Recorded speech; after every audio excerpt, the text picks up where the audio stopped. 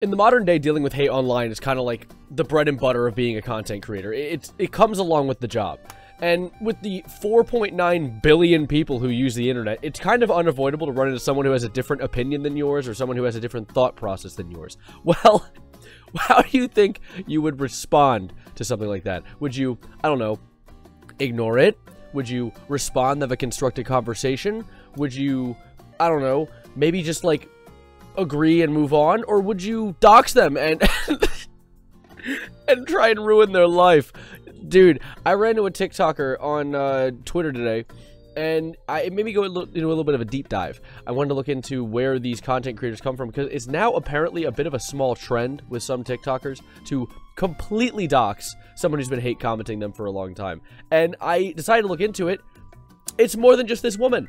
I, I saw this woman named Rexorcist, RX0cyst, and uh, she went viral on TikTok a little bit for posting videos essentially just completely doxing people who posted hate comments on her videos. Now, it sucks because the things that she teaches and the things that she pushes are actually pretty good things. I mean, it's just like support for people who need it and support for marginalized groups. Like that, that's good stuff. We want that kind of support. But the problem is we get into the territory where she comes across a hate comment and doxes the dude so bad multiple times. Here's a video that I came across on TikTok that got me into it. And if there is any doxing parts, I'll probably just mute it or bleep it out. But I'll play the video for you guys right now. Share this if you are sick of this. Boo, you dumb piece of shit. I let your dumbass go on for two fucking days while I received thousands, thousands of troll comments and death threats. Thousands.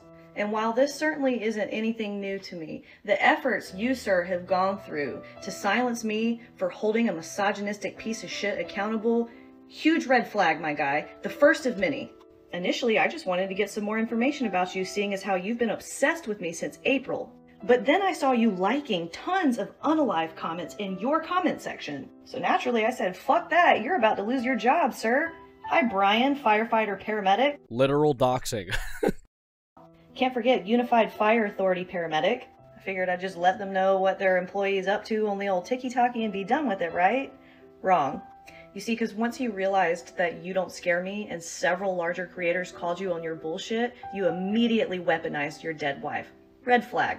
And something in my gut told me that the whole dead wife, single dad vibe was a fucking lie. And of course, I can't just say that without looking like a fucking asshole. But luckily, I found proof because you're a dumb piece of shit. And just in case y'all are unfamiliar, let me show you what this dude tried to pull. He's got a whole ass video pinned to the top of his profile of his dead wife.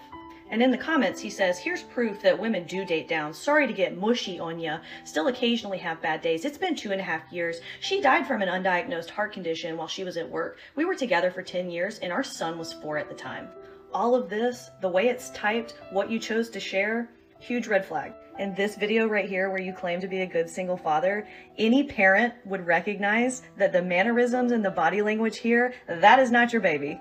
Especially when your mama tags you as Uncle Brian.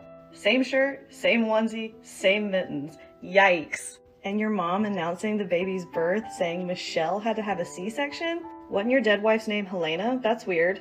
And didn't you say y'all had been together for 10 years when she died two and a half years ago? So why the fuck is Charlotte Painter Carlson in your graduation ceremony photo in 2015? By the way, they're not still married, thank God.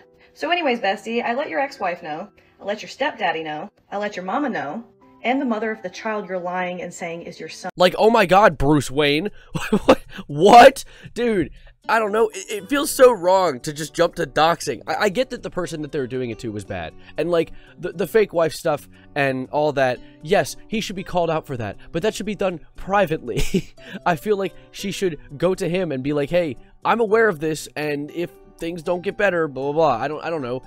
I, I don't think that immediately throwing it out to your thousands of followers. In fact, I think I have her account up. She has 1.3 million followers. She has 1.3 million followers that she's just completely blasting dudes' addresses and locations and life stories to.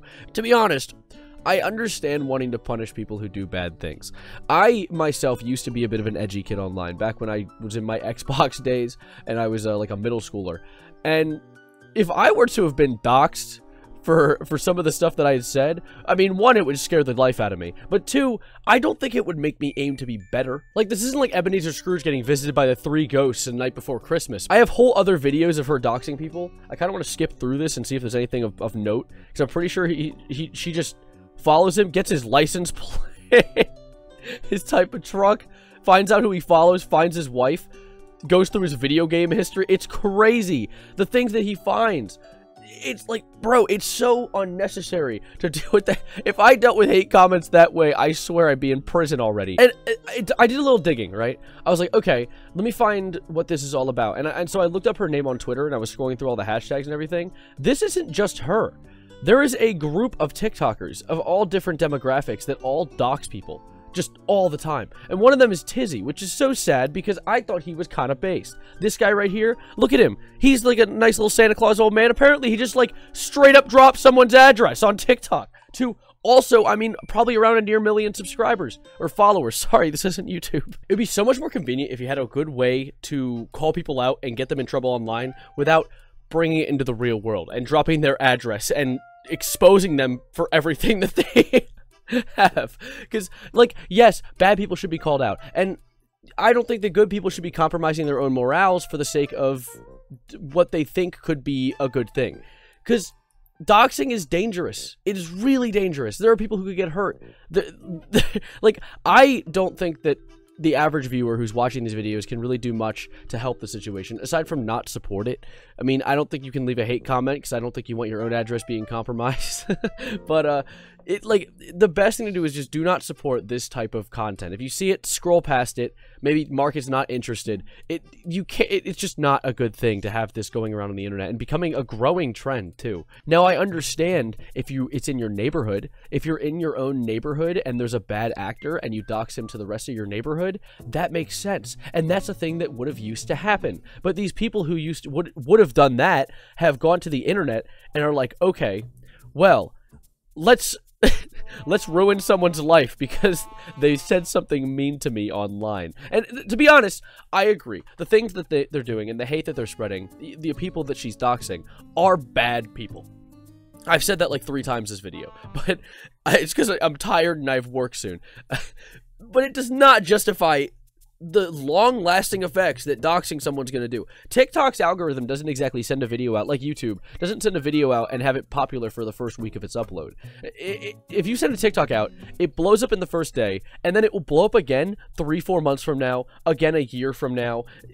Once that TikTok is out with that dude's information, it's gonna blow up like eight more times in the future. His house is compromised, and you know crazy ass TikTokers since there are literally like I think 300 like million users in like the our hemisphere and there's gonna be a crazy person who sends a weapon or something to someone's house. But yeah, she's still posting to this day. She's still gonna be posting, and uh, I don't think she's doxed someone in a hot minute. I think most of it is just like her. nope, never mind. There's a dox right at the front of her profile. I assume if that's a Facebook profile. okay, with 400,000 views. That's a lot of views to put on someone else's life. like, that's really dangerous. I don't think people consider the implications of doxing someone. I think they do it just to scare fear into someone and show them, show like someone what they can do. Like, hey, I could do this. Boo, I'm scary, big boogeyman. But I don't think they realize the implications of the fact that, like, okay, well, now their address is public to after saying very hateful things, so they're going to get flack for that and they could get flack in the form of, you know, I don't know, a bomb. I'm joking. Although the chances are still slim. It's just not, I don't know. I'm not going to say it's not right again. I'm not going to sit and lecture the same thing over and over again for a whole video, even though I just did that, and uh, you liked it and subscribed. um, yeah, this is, what, day 39 of me doing daily videos, and I want to do something on this because I saw it, like, a few days ago, and I didn't think it was worth making a whole video until I saw more of it, and I went down a rabbit hole and I, I don't know, I want to talk about it. This isn't really news, it's more just something I wanted to discuss because I like being able to discuss stuff like this, and I want to look for more. If you guys find any other content you guys want me to check out, let me know. I'd really like to see it because I want more things to talk about. I There's no current events happening, like, within the Twitch space, so there isn't much to talk about that in that regard, but as of right now, we're just chilling. I, I love to see you guys in future videos like this. Don't forget to comment if you have any thoughts on this because I know there probably are some thoughts you guys have on this. And uh, I will see you in the next video. And as always, adios, arrivederci, goodbye, good night, and uh, don't dox people, you freak.